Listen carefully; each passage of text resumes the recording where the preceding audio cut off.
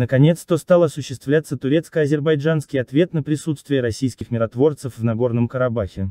Стало известно, что буквально несколько часов назад, военно-транспортный самолет РБСИ-400 МВВС Турции с турецкими военными на борту приземлился в азербайджанском аэропорту Ленкаран. Таким образом фактически, начал работать официальный воздушный мост по переброске войск Турции в Азербайджан. Вместе с тем ряд источников пишут, что рейсы военных самолетов ВВС Турции с турецкими солдатами на борту стали прибывать в Азербайджан еще в пятницу вечером. Численность переброшенных военных Турции уже достигает несколько сотен солдат. Вместе с живой силой в Азербайджан доставляется и турецкая военная техника. Также поступила информация о том, что военная группировка турецкой армии в Карабахе будет доведена до двух с половиной тысяч человек. То есть, столько же сколько и даже немного больше, чем российских, потому что и численность турецких войск не ограничивается никакими международными договоренностями, в отличие от кремлевских миротворцев. Это будет служить хорошей гарантией того, чтобы Кремль в Карабахе случайно не вздумал позволить себе лишнего, и вел себя тихо и сидел смирно, не дергался. В общем, поздравляю вас всех с новым присутствием сил НАТО в Закавказье,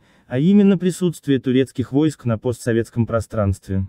Самое интересное в том, что заявление турецких властей, как и сама передислокация турецких войск в Азербайджан происходит во время визитов российских чиновников в Ереван и Баку. Потому что победителю в этой войне Азербайджану и ее союзнику Турции наплевать на кремлевское возмущение и раздувание щек. Напомню, что буквально на днях турецкий парламент одобрил предложение президента республики Реджепа Таипа Эрдогана направить войска в Азербайджан для миротворческой миссии в Нагорном Карабахе. Информация о том, что турецкий военизированный контингент был готов к отправке в Нагорный Карабах, появилась с 9 на 10 ноября. 10 ноября стало известно, что около 2500 турецких военнослужащих готовы к переброске в Азербайджан, а оттуда в Карабах. В России сразу же, как появились эти заявления, об участии турецких миротворцев в Нагорном Карабахе, стали заявлять, что мол это не обсуждалось, и вообще что это за самоуправство и самоволие, истерически завизжали в Кремле. В свою очередь Анкара не стала форсировать события и действовать напролом, как, например, сама же Россия в Kosovo,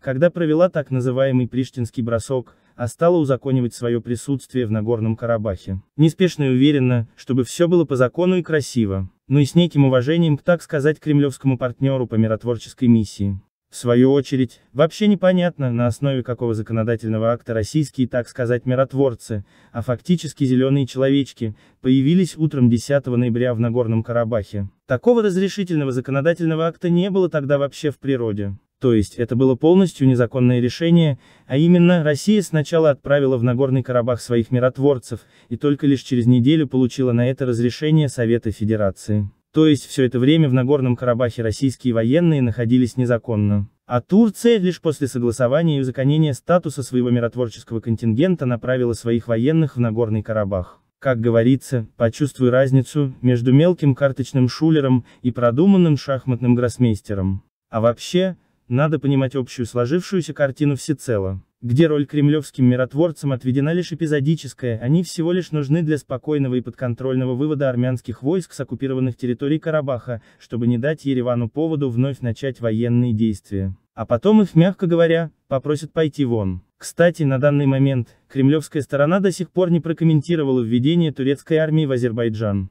Скорее всего, в Кремле в очередной раз проходит экстренный мозговой штурм, исключительно под аргентинской мукой, где они ломая голову думают, как превратить этот очередной явный засаженный нож в спину, в информационную победу, исключительно для внутреннего потребления. Ибо проигрыш Кремля во всем, постсоветском пространстве, в том числе и данном регионе, уже становится очевидным. Постскриптум. Кстати, присутствие турецких войск в Азербайджане полностью пресечет попытки путинской России остановить азербайджанский газопровод ТАП, поставляющий азербайджанский газ в Европу, а соответственно и турецкий газопровод ТАНАП, запуск которого полностью перечеркнул все планы Кремля, оставив его за бортом на южном газовом рынке и соответственно без денег.